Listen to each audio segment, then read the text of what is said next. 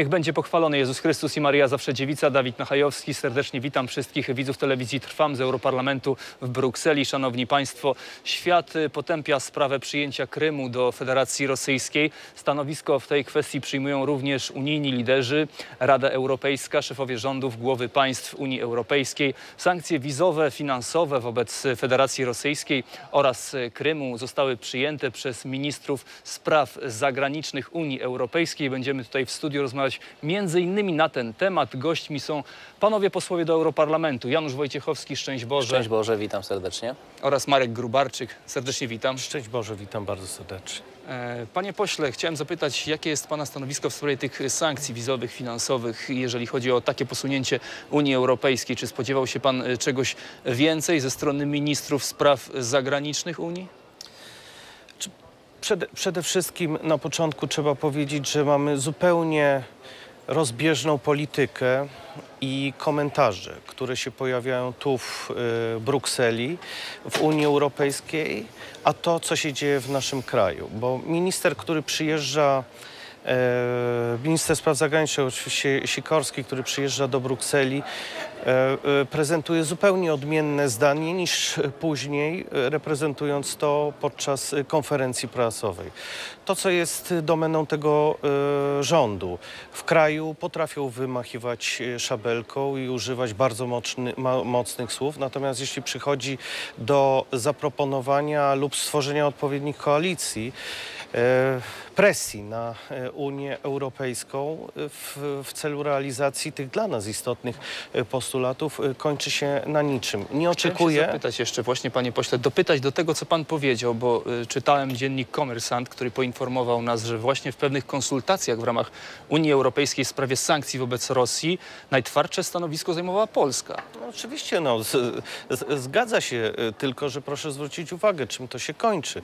E, z informacji, które do nas dochodzą, ale również e, z sytuacji politycznej pa, panującej w Unii Europejskiej, żadnych znaczących sankcji dla Rosji po prostu nie będzie. Pana zdaniem gospodarcze sankcje powinny od razu wejść w życie, czy też Unia Europejska powinna poczekać i w fazie trzeciej, jak to zostało powiedziane, jeżeli Rosja weszłaby na terytorium wschodniej, południowej Ukrainy, dopiero wówczas je zastosować? No, Unia, gdyby miała wyobraźnię z taką choćby wynikającą z doświadczenia historycznego, to nie powinna na nic czekać, tylko po prostu izolować Rosję jako agresora, bo Rosja jest krajem, który dopuszcza się agresji, dopuszcza się przemocą zmiany granic. e, I e, mówił pan, że najtwardsze jest stanowisko rządu polskiego. To prawda, tylko kiedy to stanowisko się pojawiło? To jest, to jest o lata za późno. E, Zachód się boi Rosji. Zachód ma reakcję taką, e, że Przez no interes najchętniej polityczny? interesy polityczne, gospodarcze, Gospodarcze. różne, jakieś kompleksy chyba jeszcze w tym, bo to i to też e, w polityce czasem występuje. E, I po prostu boi się zdecydowanej reakcji. E, Ale trzeba powiedzieć, kto, e, do, kto e, jakby przetarł szlaki tego strachu. To rząd Donalda Tuska, choćby w sprawie smoleńskiej.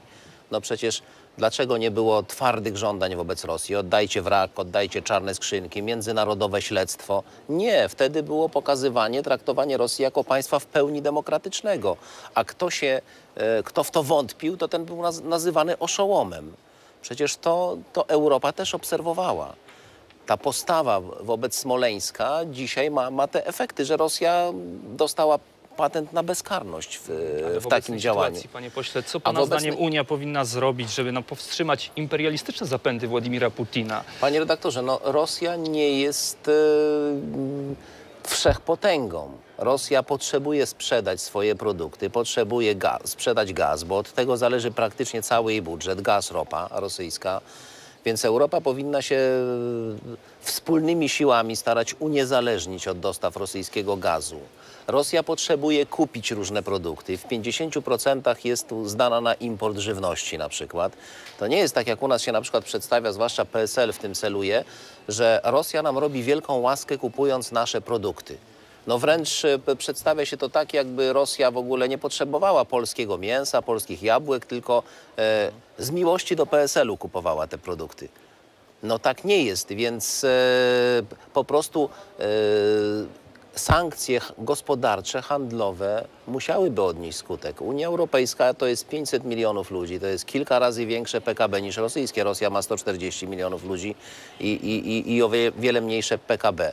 No ma jest potęgą militarną oczywiście, ale gospodarczo naprawdę można by było bardzo wiele osiągnąć, naciskając na A Rosję. jeżeli na przykład chodzi o relacje Unii Europejskiej, panie pośle, ze Stanami Zjednoczonymi, czy widzi pan tutaj potrzebę większej solidarności na linii UE-Stany Zjednoczone? Bo trzeba przypomnieć e, stanowisko prezydenta USA Baracka Obamy, który ogłosił nowe sankcje dla przedstawicieli rosyjskiego rządu. Trzeba przypomnieć, prawda? Ocenił, że istnieje ryzyko eskalacji w związku z groźbami Rosji wobec południowej, wschodniej Ukrainy. Mogliśmy przeczytać w mediach. Jakie jest pana zdanie? Panie redaktorze, no nie jest tajemnicą, że y, y, y, te propozycje, które padły podczas spotkania Stanów Zjednoczonych z liderami Unii Europejskiej po prostu były rozbieżne, bo Stany Zjednoczone zaproponowały daleko idące sankcje gospodarcze, bo to, tak jak powiedział pan poseł Wojciechowski, najbardziej uderzy w Rosję. Sankcje gospodarcze, ale okazuje się, że kto był największym obrońcą Rosji? No Niemcy. To Niemcy wyraziły sprzeciw, przede wszystkim jeśli chodzi o gaz, y, o sprzedaż nie tylko gazu, ale również ropy naftowej, bo to największym beneficjentem tego układu są oczywiście Niemcy.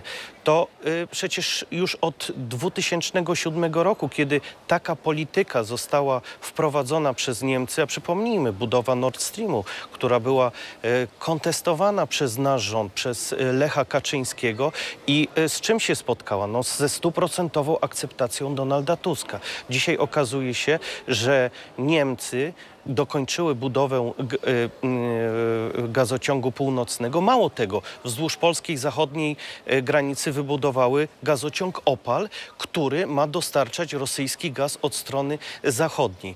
I a ostatnie informacje, które do nas y, y, dochodzą, są po prostu zatrważające, bo ten rurociąg został oddany Gazpromowi, czyli z zachodniej strony również otacza nasz ga, gaz y, y, rosyjski. Więc y, tu jest pytanie, czy my mamy wspólne interesy? Czy Niemcy, które powinny być tutaj liderem, jeśli chodzi jako największa potęga gospodarcza w Unii Europejskiej i, i one być motorem hamulcowym w stosunku do wymiany handlowej z Rosją, okazują się dzisiaj obrońcą, bo oni są największymi beneficjentami. No tutaj jeszcze raz się powtarza ta y, sytuacja i, i, i te nasze postulaty, które y, prowadzimy. Polska musi prowadzić polską politykę zagraniczną, a nie niemiecką. Wielu dziennikarzy Powinna pracujących w powi- po, Polsce. po, prowadzić polską politykę, tak jak pan poseł mówi, ale w ramach tej polskiej polityki jest właśnie ten element nacisku na Unię, to znaczy w relacjach z Rosją my powinniśmy żądać od Unii jednakowej polityki. To jest ten problem z, z, ze, z, ze świńmi teraz w tej chwili. Więc jeżeli Rosja wprowadziła embargo, to my powinniśmy natychmiast nie do Rosji, nie, nie do Moskwy pukać i tam y, wisieć u klamki, tylko w Brukseli. Jesteśmy na wspólnym rynku. Żądamy jednolitych działań. Cała Unia, to, to ma być problem całej Unii. Każdy problem gospodarczy nasz w relacjach z Rosją, czy jakimkolwiek innym trzecim krajem, Chinami podobnie, e, to powinien być problem całej Unii. Tymczasem ten rząd, rząd Platformy i PSL-u, no, zrobił coś odwrotnego. To znaczy oni się przechwalali, że mają takie świetne relacje z Rosją. Oni pojadą, wszystko załatwią. Jak był PiS y, Kaczyńscy, to rusofobia była. Nie potrafili rozmawiać z Rosją. My potrafimy, wspaniale. No i skutki teraz tego widzimy. Jak Czy potrafią rozmawiać. takiej I sytuacji jak sami teraz? nic nie załatwią i na Unię nie mogą liczyć. Zarządów Prawa i Sprawiedliwości, w, w tym rządzie był pan e, wtedy pan poseł Grubarczyk, doskonale to, to wie i pamięta, bo w tym uczestniczył. Jak był jakikolwiek problem z Rosją, to musiała to załatwić Bruksela, bo od tego jest akurat. Teraz to jest mamy ta, konflikt ta światowy korzyść z i. Bruksela, e, czy Pana zdaniem była przygotowana na coś takiego? Bo na przykład wielu dziennikarzy pracujących w Polsce, których nie ma tutaj na co dzień, żądają stanowczego stanowiska, począwszy od europosłów, którzy reprezentują Parlament Europejski, przyjmują różnego rodzaju rezolucje. Niektórzy uważają, że te dokumenty no, nie są zbyt poważne, bo co to znaczy potępić, wyrazić głębokie ubolewanie, zaapelować, no i uznać za nielegalne referendum, które miało tutaj- miejsce na Krymie. tutaj- Jakie macie kompetencje, panowie, jakie posłowie do Parlamentu Panie Europejskiego? redaktorze, tu się jeszcze tylko ciśnie taka refleksja. y, Cofnijmy się 6 lat wstecz, Gruzja. To wtedy świętej pamięci prezydent Lech Kaczyński powiedział: Dzisiaj Gruzja, ju, jutro Ukraina, pojutrze państwa bałtyckie, a potem może i Polska. I wtedy, kiedy to mówił, kiedy sam był w Gruzji i kiedy stanowczo, odważnie wystąpił przeciwko tej inwazji i tak naprawdę ją zatrzymał, bo to ta interwencja spowodowała potem, że się Sarkozy pojawił, Amerykanie się odezwali i Rosjanie zatrzymali ofensywę nad Tbilisi. E, To wtedy w Polsce był śmiech, szyderstwo, ha, ha, ha. Jaka wizyta, taki zamach. Ślepy snajper by lepiej trafił. Kto to mówił? Najwyżsi przedstawiciele po- polskiego państwa. Wtedy był śmiech. Dzisiaj mamy sytuację o etap dalej. Wczoraj była Gruzja, dzisiaj jest Ukraina, jutro mogą być państwa bałtyckie, a pojutrze Polska. E, I, a Zachód jest na etapie tego śmiechu. Tak jak nasi się śmieli 6 lat temu e, z Gruzji, to tak dzisiaj Zachód no niby tam reaguje, ale tak naprawdę to, to się uśmiecha jeszcze, nie zdając sobie sprawy z tego, co się dzieje na Ukrainie. Ale to, to szyderstwo, które było 6 lat temu z Lecha Kaczyńskiego, wraca dzisiaj echem, jak już jest sytuacja naprawdę poważna. Tusk zrozumiał, że sytuacja jest poważna, zaczyna mówić językiem Lecha Kaczyńskiego, ale z niego się śmieją na Zachodzie teraz tak, jak on się śmiał z Lecha Kaczyńskiego. Powrót do przeszłości, wyciągnięcie własnych wniosków i umiejętne zachowanie się w obecnej sytuacji to jest teraz bardzo ważne. Powracając do tego mojego pierwszego pytania, jeżeli chodzi o no, mm, postawę polskich dziennikarzy i ich oczekiwania względem europosłów, pytają o kompetencje, co mogą zrobić poza przyjęciem jakiegoś wspólnego projektu rezolucji, kolejnego re projektu rezolucji w sprawie Ukrainy. Tak, mamy parlament, mamy Komisję Europejską, pan tutaj już zasiada wiele lat. Proszę y, powiedzieć, jakie kompetencje ma pan jako poseł do Parlamentu Europejskiego i koledzy? Może, możemy jasno stwierdzić, że Parlament Europejski nie zrobi niczego pru, prócz kolejnego potępienia, wyprodukowania e, rezolucji czy dyrektywy potępiającej werbalnie. Nie ma tu żadnych kompetencji, które mogą uderzyć e, skutecznie e, w Rosję. Bo też tak jest, że decyzje, które zapadają, zapadają pomiędzy rządami. I tutaj jest najistotniejsza sprawa, bo proszę zwrócić uwagę e, i odwołam się też do tej historii, kiedy w 2007 roku rząd Prawa i Sprawiedliwości podjął decyzję o budowie gazoportu w Świnoujściu, czyli elementu dywersyfikacji, kiedy e, przyjęliśmy program budowy gazociągu do złóż e, w Danii, aby połączyć polski system z, z Norwegią i z, z tymi mm, z dostawami. Okazuje się, że w 2008 roku, kiedy Donald Tusk doszedł do władzy, całe, wszystkie te inwestycje zostały po prostu zahamowane. To od w 2011 roku już powinna następować, mm, mm, następować powinien import gazu, gazu niezależnie e, od Rosji. Okazuje się, dzisiaj się e, okazuje, że jesteśmy o kilka lat w niedoczasie. O kilka lat. To zostało po prostu zmarnowane. Czy to zostało zrobione celowo? No też warto się zastanowić, dlaczego Donald Tusk, opóźniał e, te działania? Dlaczego dzisiaj nie mamy gotowego e, gazoportu, kiedy on już w 2000 2011 roku, od tego roku powinien dostarczać niezależnie od Rosji gaz. Dzisiaj Dlaczego okazuje się, łupkowego nie mamy. nie mamy Niedawno gazu łupkowego. Dopiero w tym roku zostaje pokazał przyjęta tak. parę dni temu ustawa. Ale cóż ta ustawa zmieni? No nic nie zmieni. Nic nie jest jeszcze zrobione w naszym kraju. Więc proszę, proszę zwrócić e, uwagę, do czego, w jakiej sytuacji się dzisiaj znajdujemy. W bezwzględnej uległości i e, e, zależności od strony, z jednej strony rosyjskiej, a z drugiej strony od tego, co Niemcy zdecydują w Unii Europejskiej. Czy to są te same interesy? Oczywiście nie. Oczywiście Wielu nie. ludzi, panie pośle, właśnie postrzega, panowie, że ten interes polityczny blokuje Unię Europejską do podjęcia konkretnych działań względem, kolokwialnie rzecz ujmując, załatania tego konfliktu. Wszyscy e, chcą, mówię o świecie, ONZ, tak, e, Unia Europejska, załatania konfliktu i zablokowania, aby nie przerodziło się to w jakąś wojnę mm, światową w perspektywie długoterminowej, ale wielu ludzi na przykład oczekuje konkretnego stanowiska względem Komisji Europejskiej, która ma władzę inicjatywę ustawodawczą. Czy pan jako poseł do Parlamentu Europejskiego z wieloletnim doświadczeniem przewiduje taką sytuację, że zostałby wyprodukowany taki akt prawny, który zostałby przyjęty przez Parlament Europejski i przyczyniłby się do załatania światowego konfliktu, jeżeli by na przykład Komisja Europejska, kolokwialnie rzecz ujmując, się sprężyła? Znaczy, no, aktem prawnym się oczywiście nie rozwiąże żadnym aktem prawnym konfliktu. To są rzeczywiście, no, powiedzmy, potępienie czy, czy, czy rezolucje potępiające Nie mają i rezolucje. Te, znaczy one mają moc moralną i to, to, to w polityce też od, do pewną rolę odgrywa. Natomiast oczywiście sankcje, no to jest akt prawny, jeżeli się wstrzymuje na przykład stosunki handlowe z jakimś krajem, to, to, to mogłoby być skuteczne i to mogłaby Unia Europejska wprowadzić, no ale oczywiście musi być e, akceptacja rządów. Parlament Europejski e, choć jest reprezentacją obywateli w Unii, to nie osiągnie więcej niż to, na co się zgadzają wspólnie rządy państw członkowskich.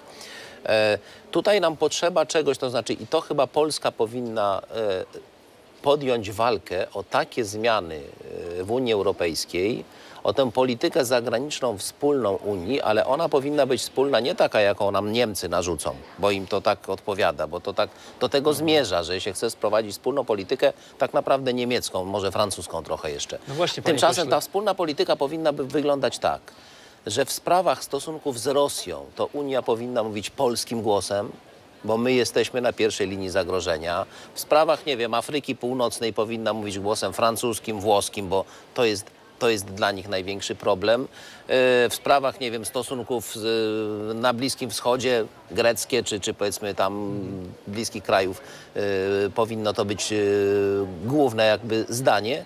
I wtedy można by było mówić o pewnej wspólnej polityce, to znaczy, żebyśmy wszyscy mogli z niej korzystać. A y, w tej chwili jest taka sytuacja, no my się boimy Rosji, a Niemcy się nie boją. No, Niemcy robią, chcą z nimi robić interesy. Robią Francja interesy, i robią. no. I robią. Dla nas to jest zagrożenie, bo oczywiście wiadomo, że rosyjska potęga imperialna, e, jeżeli Rosja jest imperium, to trzeba bardzo wyraźnie powiedzieć. Rosja odbudowuje swoje imperium. To było jeszcze kiedyś Czeczenia, Gruzja, y, Ukraina i, i to się nie zatrzyma.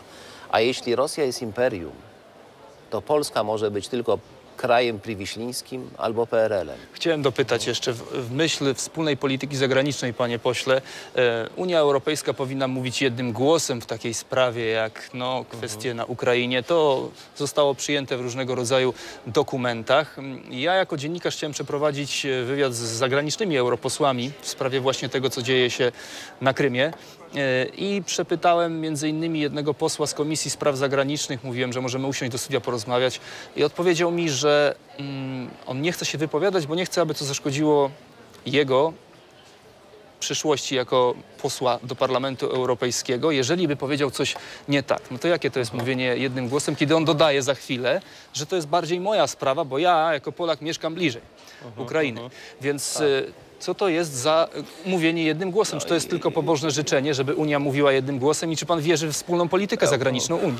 Pa- Panie redaktorze, no, y, tak jak y, odpowiedział panu ten poseł, nie ma żadnej wspólnej nie był polityki. Nie był Polak, niestety. Y, I i y, jeszcze raz to potwierdza, że nie ma wspólnej polityki jako całości Unii Europejskiej.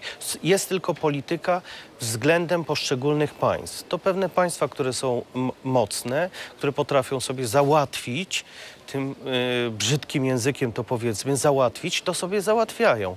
No Niemcy potrzebują gazu y, z Rosji, to załatwiają sobie. Sarkozy chce sprzedać, przepraszam, nie Sarkozy, już teraz Hollande, bo Sarkozy rozpoczął tą inwestycję, sprzedaż y, y, swojej floty wojskowej do Niemiec, do Rosji, więc to załatwia, słynne Mistrale i tak dalej, po, po, po kolei. Tutaj, panie redaktorze, wracając właśnie do tego pytania, bo to niezwykle istotne, jak należy traktować ten Parlament Europejski. No ano tak, że w sytuacji, kiedy mamy ogromne zagrożenie z Rosji, y, przede wszystkim to energetyczne, bo dzisiaj Rosja będzie używała gazu, tak jak wcześniej, ale będzie dzisiaj używała gazu y, na y, szczególnie kraje środkowoeuropejskie jakoś y, źródła nacisku. No więc Unia Europejska co robi? Ano wyprodukowuje rezolucję, która zabrania wydobycia gazu łupkowego, zakazuje korzystania z węgla, ogranicza e, emisję e, CO2 u uderzając przede wszystkim w Europę Środkową. No nie ma się to nijak do sytuacji y, obecnie panującej, gdzie Europa powinna i ma możliwości stać się niezależna. Przypomnijmy, gaz łupkowy, gazoporty, przede wszystkim polski y, gazoport, ale również y, węgiel, węgiel brunatny, te źródła, które są dobrami Unii Europejskiej. Okazuje się, że nie. No w tej sytuacji Unia Europejska blokuje te rozwiązania. Jeszcze raz to potwierdza y, naszą diagnozę i nasze podejście, tak jako, jak y, y, Prawo i Sprawiedliwość y, zawsze podchodziła. Polska musi dbać o własne interesy, bo nikt o nasze interesy w Unii Europejskiej nie zadba. Dlatego też trzeba natychmiast zmienić politykę zagraniczną, a jedynym sposobem zrobienia tego jest po prostu zmienić ten rząd. Panie redaktorze, tutaj jest taka, taka ważne właśnie w stosunkach z Rosją. Choćby ten problem, e, bo wiem, ogląda telewizję, trwam bardzo wielu rolników i wśród nich ci, którzy mają ten problem ze, ze zbytem wiep, świń, wie- wieprzowiny. E, Dramatyczny problem. Ale skąd on się wziął? To, to nie jest problem relacji z Rosją. To jest problem nieudolności rządu, bo my przecież tak naprawdę nie mamy wieprzowiny na sprzedaż. My jesteśmy importerami wieprzowiny. Polska ma tak mało świń, Polska ma mniej świń niż Dania. Kto zna realia wiejskie, no to, to, to się nad tym zastanowi, bo przecież kiedyś w każdym gospodarstwie były hodowane świnie, w każdej zagrodzie były. Dzisiaj jest ich niewiele. My sprowadzamy setki już tysiące ton wieprzowiny z importu i okazuje się, że jesteśmy tak uzależnieni od Rosji, że jak nie można sprzedać kilkudziesięciu tysięcy ton do Rosji, to jest, to jest tragedia w całej Polsce.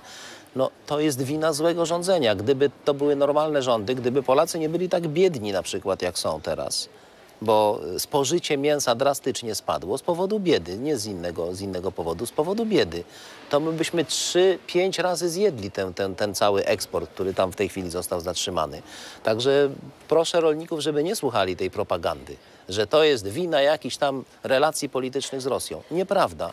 Ten niewielki eksport nie byłby żadnym problemem. Gdy, bo my importujemy wieprzowinę. Gdybyśmy byle jakiej wieprzowiny z Niemiec, z Danii nie wpuszczali, to nie byłoby problemu z eksportem. To, to, to są fatalne rządy i, i one w sprawach politycznych, bo y, ta, te, te relacje, to, to roz, rozbestwienie Rosji i w dużej mierze jest y, z naszym udziałem się odbyło, z polskim udziałem, z udziałem tego rządu. I także to, to gospodarcze rozbestwienie, pokazywanie, że my na kolanach musimy z Rosją rozmawiać. Na kolanach, bo, bo oni nam robią taką łaskę. No, jeżeli ktoś na kolanach próbuje robić interesy handlowe, to nigdy ich nie zrobi. Relacje, jeżeli chodzi o państwa Unii Europejskiej e, z Rosją, można postrzegać wielopasmowo i szerokopasmowo. No to widać w różnego rodzaju programach, dyskusjach. Chciałem jeszcze powrócić do Ukrainy, bo to jest ważne, jeżeli chodzi o e, ludzi, którzy czytają różnego rodzaju media, analizują sprawę podpisania politycznej części umowy stowarzyszeniowej z Ukrainą. Patrzą, czy ten gest ze strony Unii Europejskiej w myśl europejskiej integracji dla Ukrainy to jest konkretna, poważna oferta. Co pan o tym sądzi? Nie no, po, po, popatrzmy szczerze na to, y, co zaproponowało. Zresztą to było wynikiem eskalacji tych problemów. No, Unia, trzeba powiedzieć, naważyła zaczęło, tego od nie piwa. podpisania umowy stowarzyszeniowej. Znaczy Oczy- Unia chciała podpisać, no no, ale bo to na Unia Ukrainie na- tak się na- nie stało. Naważyła piwa, bo pro, propozycja, która została przedstawiona e, Ukrainie, no nie była do zaakceptowania, e, do zaakceptowania przez e, Ukraińców. Zresztą tam wiele innych czynników oczywiście miało Znaczy, wpływ Ukraińcy na sytuację. podpisania tej umowy, Prawda? oczywiście rząd nie mógł, nie, nie chciał podpisać tego, e, e, e, tego Tej tej, propozycji, tej umowy. No, wy, wy, oczywiście Janukowicz, który był tylko i wyłącznie posłańcem Moskwy, no, reprezentował odmienną politykę, no ale proszę popatrzeć, co się stało. Już wracaliśmy i wielokrotnie mówiliśmy, że realizując tak ważny dla tej części Europy projekt integracyjny, nie można przygotowywać takich rozwiązań, które nie będą e, e, akceptowane lub nie będziemy wiedzieli, jakie są rozwiązania. A to, co zaproponowano e, Ukrainie, no to było po prostu rzucenie się na głęboką wodę. No teraz okazuje się, że mamy problem i Unia Europejska mówi, no nie wiemy, co dalej robić i nie wiemy, co będzie. No może będą sankcje, będzie oczywiście jakieś tam zablokowanie oligarchów, wjazdu oligarchów do Unii Europejskiej oraz szczątków ich kont, bo już wiele wiemy, że te pieniądze po prostu wyparowały e, z ich kont e, w Unii Europejskiej, z banków e, unijnych, no więc jest to po prostu śmieszne, co się dzisiaj dzieje, natomiast dla nas sytuacja jest bardzo Sankcji poważna. wizowych i finansowych Bardzo poważna. pokrywają sobie No, oczywiście no, no, nikt inny tego traktować w ten sposób z należytą powagą nie może, no bo blokowanie y, 20 czy 30 oligarchom kont czy wjazdu, a nawet nie wspomniawszy o y, liderze, czyli o Putinie, no, no wskazuje po prostu, że to są tylko i wyłącznie pozorne działania. Natomiast y, co jest istotniejsze, to jest to to, że Unia, która dzisiaj jest odpowiedzialna za tą sytuację, powinna przygotować znacznie bardziej daleko idącą propozycję, która zahamuje tą e, aneksję kolejnych elementów e, Ukrainy, bo nie jest tajemnicą, że przecież Ukraina dzisiaj będzie większym e, kąskiem, ko, kolejnym elementem Tak, przejmowania przez, To się na tym nie skończy, ale tu Przez, warto jakby kontynu- Rosję. Kontynuując myśl pana posła Grubarczyka, warto też wspomnieć, że no właśnie dzisiaj jak się tutaj prężą nasi politycy z obecnego obozu władzy, premier Tusk, e, minister Sikorski, jacy to są w tej chwili obrońcy tutaj e, z, z, na, z poważnymi minami tutaj bronią suwerenności, bro- bronią niepodległości Polski. Tylko i, i, i tacy przenikliwi politycy są. Warto przypomnieć 2007 rok i Kosowo, uznanie Kosowa. Wtedy po raz pierwszy w Europie po 1945 roku przemocą odebrano jakiemuś państwu część jego terytorium, Serbii. Niezależnie jakie były tam e, zdarzenia, to jednak to było terytorium państwa, które wbrew woli tego państwa zostało mu zabrane. Złamany został kanon pewien, podstawa bezpieczeństwa, nienaruszalność granic. Dla nas to jest fundament naszego bezpieczeństwa. I wtedy rząd Tuska był jednym z pierwszych, który uznał to yy, wyodrębnienie Kosowa. Jednym z pierwszych. Prezydent Lech Kaczyński wtedy mówił nie, żeby nie uznawać. No ale to była decyzja rządu. Rząd uznał.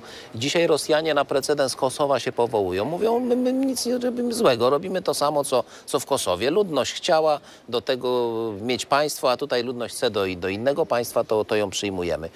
No, to takich pretekstów się nie daje. To, to jest brak jakiejś wyobraźni, brak wizji politycznej. Obecna ekipa potrafi robić politykę zagraniczną do jutra, czego najlepszym dowodem był Radosław Sikorski, kiedy pojechał do Kijowa i zawarł porozumienie, które mm, dwie godziny nie przetrwało. On, on potrafi do jutra przewidywać, a w polityce trzeba przewidywać z wizją na lata, na, na dziesiątki lat. Powiedział pan poseł do Parlamentu Europejskiego Janusz Wojciechowski. Dziękuję serdecznie moim gościom za e, przybycie do studia. Pan poseł do Europarlamentu Marek Grubarczyk. Dziękuję, szczęść Boże. Bardzo z Panem Pan Bogiem. poseł Janusz Wojciechowski. Z Panem Bogiem. Dziękuję. Serdecznie dziękuję za uwagę. Szanowni Państwo, do zobaczenia w kolejnym odcinku programu z Parlamentu Europejskiego. Niech będzie pochwalony Jezus Chrystus i Maryja zawsze dziewica.